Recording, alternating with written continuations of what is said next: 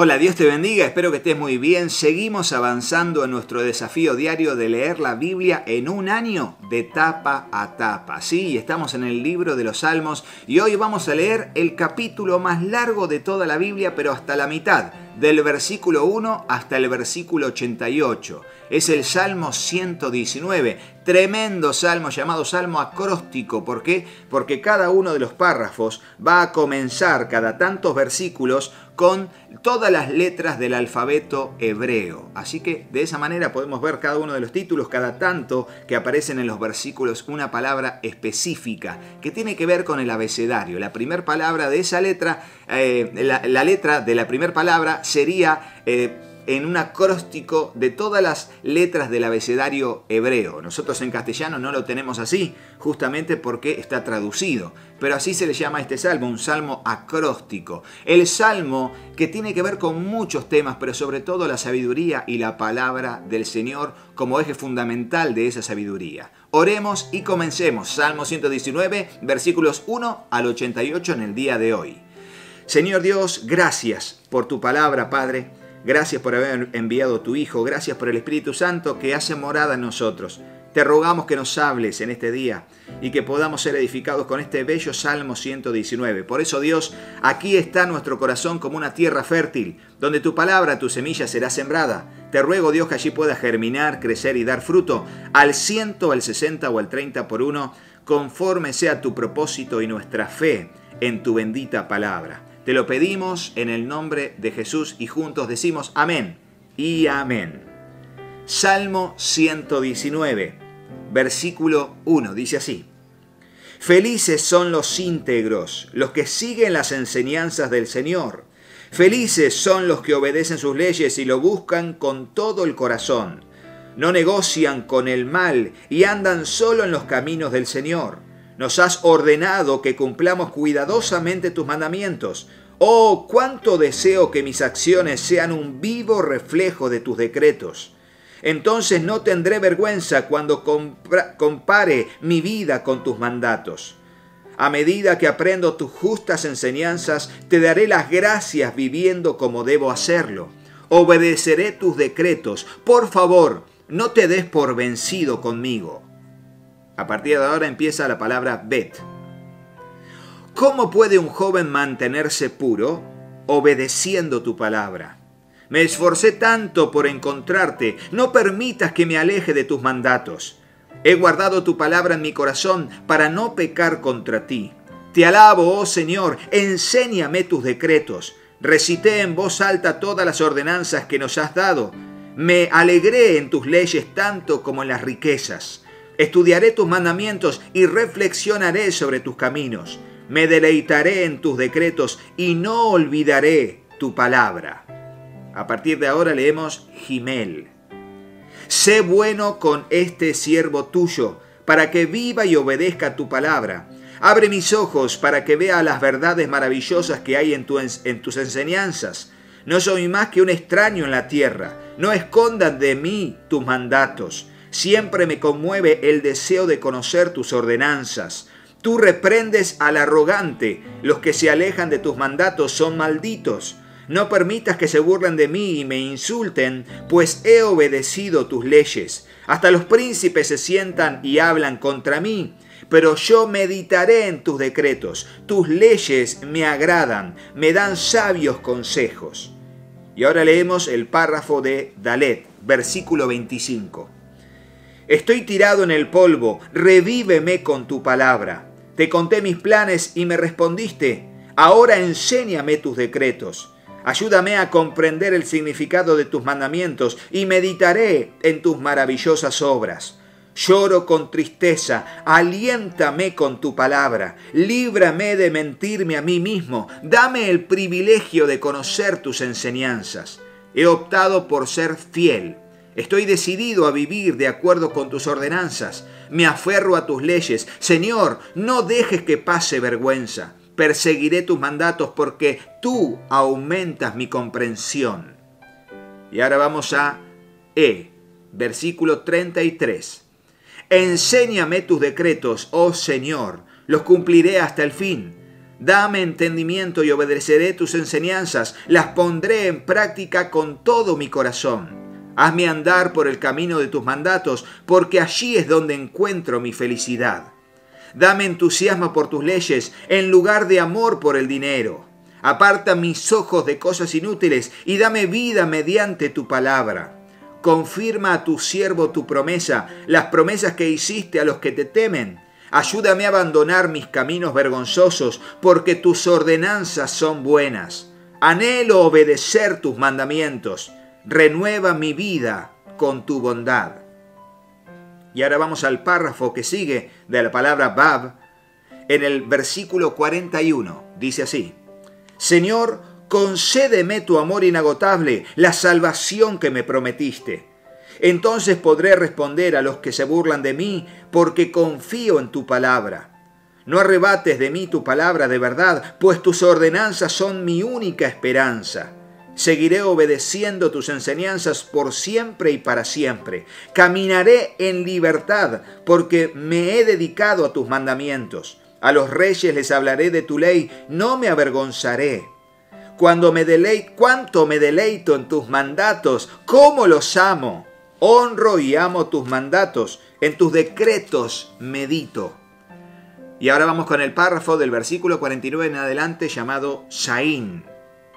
Recuerda la promesa que me hiciste, es mi única esperanza. Tu promesa renueva mis fuerzas, me consuela en todas mis dificultades. ¿Escuchaste eso? Y así tantos versículos que pararía en más de uno, pero necesitamos seguir porque leemos la Biblia en un año no meditamos la Biblia en 20 años. Así que tenemos que seguir adelante, ¿eh? Pero todos los versículos que veas, subrayá el versículo, eh, con un círculo, el número, meditalo. Fíjate cómo dice aquí, tu promesa renueva mis fuerzas. Las promesas de Dios nos da esperanza, nos consuela en todas nuestras dificultades. Así funciona. Por eso nuestra fe en Dios está basada y fundamentada en la lectura y meditación de la palabra del Señor. Una vida de un creyente fiel en Jesucristo, sin oración y sin lectura de la palabra, le faltan condimentos que hacen muy sabrosa, en el buen sentido de la palabra, a la vida cristiana, que te guste ser cristiano. Y nunca vamos a disfrutar de la vida cristiana hasta que no decidamos realmente ser cristianos. Ahora, cuando lo decidimos, la Biblia no es un libro que, ay, es muy tedioso leerlo, es muy ancho, muy finito, letra chica, letra grande, como sea es un placer meditar en la palabra del Señor. Sigamos. Dice así, versículo 51.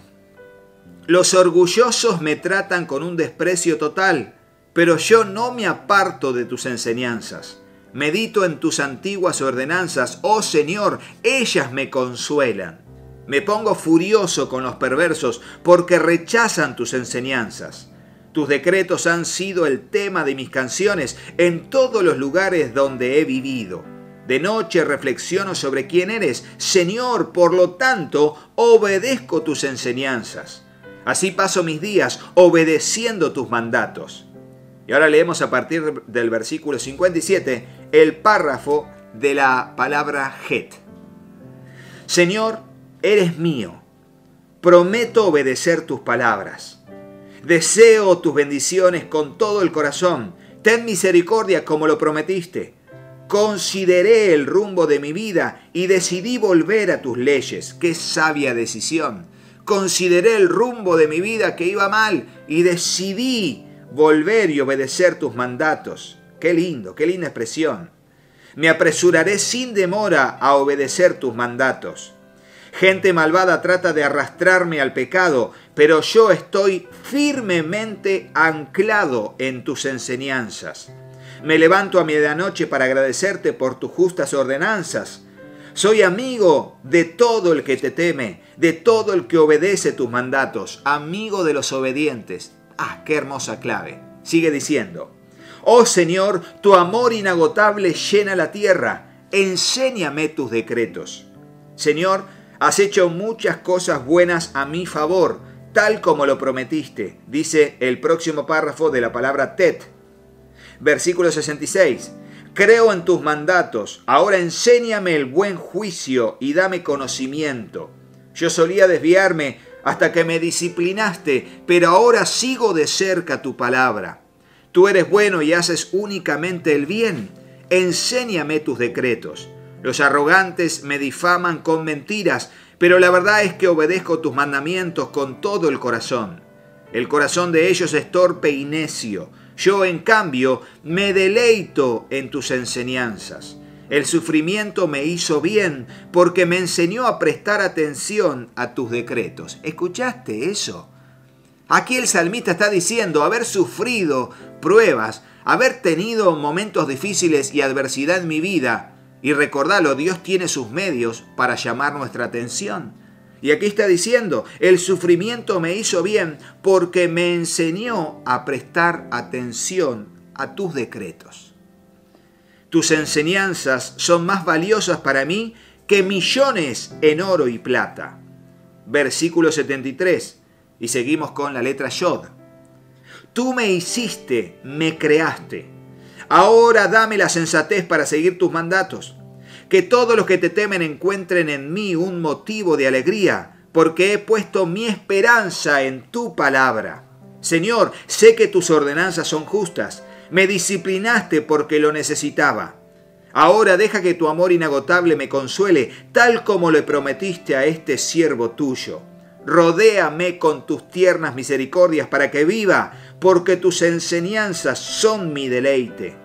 Trae, deshonra sobre los arrogantes que mintieron sobre mí Mientras tanto, me concentraré en tus mandamientos, concentrarnos, enfocarnos en la palabra del Señor. De eso se trata, más allá de los enemigos que nos rodeen. El enemigo podrá intentar destruirte, si Dios no se lo permite, no podrá tocarte.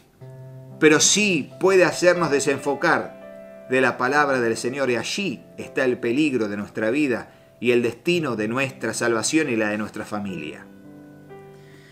Permite que esté unido a todos los que te temen, los que conocen tus leyes, que sea intachable en guardar tus decretos, entonces nunca seré avergonzado. Y ahora leemos la última parte de la lectura de hoy, del versículo 81 al 88, en la letra Kaf. Dice así, Estoy agotado de tanto esperar a que me rescates, pero he puesto mi esperanza en tu palabra. Mis ojos se esfuerzan por ver cumplidas tus promesas. ¿Cuándo me consolarás? Estoy arrugado como un odre ahumado, pero no me olvidé de obedecer tus decretos. ¿Hasta cuándo tendré que esperar? ¿Cuándo castigarás a los que me persiguen? Estos arrogantes que odian tus enseñanzas cavaron hoyos profundos para atraparme. Todos tus mandatos son confiables. Protégeme de aquellos que me persiguen sin causa casi acaban conmigo, pero me negué a abandonar tus mandamientos. En tu amor inagotable, perdona mi vida. Entonces podré continuar obedeciendo tus leyes. Qué lindas expresiones, ¿no? Esperemos que Dios nos guíe en el propósito de diariamente poder eh, descubrir las riquezas de la palabra del Señor para vos y para mí, porque somos parte de sus hijos si le hemos recibido eh, en nuestro corazón como Señor y Salvador y le hemos aceptado por medio de la fe y por medio de la gracia salvadora del Señor. Si te gustó el video, ponele me gusta y mañana continuaremos con el Salmo 119 en la segunda parte, Dios mediante. Dejanos en el comentario si tenés alguna pregunta con respecto a la lectura del día de hoy y sobre todo suscríbete al canal y activa la campanita si todavía no lo hiciste para que puedas ser parte y sepamos que estás ahí siguiendo cada uno de nuestros videos, siendo parte del canal como un espectador que decides formar parte a través de la suscripción. Que Dios te bendiga mucho y será hasta mañana, Dios mediante. Chao, chao.